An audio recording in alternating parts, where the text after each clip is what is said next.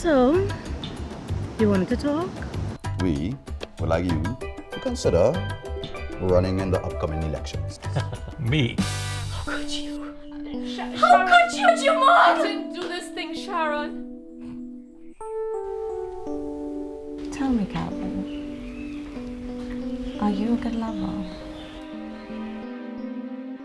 $20,000 a month. That's a lot of money. I'm worth it.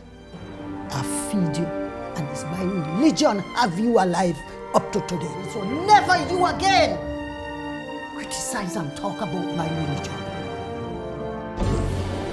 Shame yourself.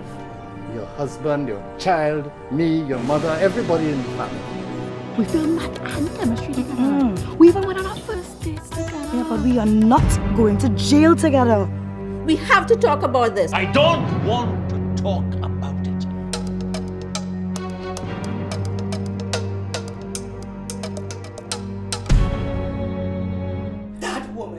is having my husband's child. What the hell does that matter now?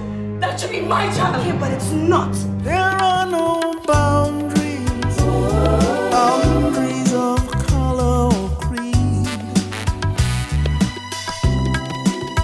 I have a rule. I never get involved with anyone that I'm working with or for.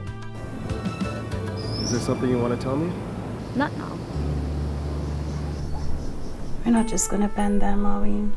Hell no. Passion, love, and human emotions collide with absolutely no boundaries. No Boundaries 2024, coming soon to a theater near you.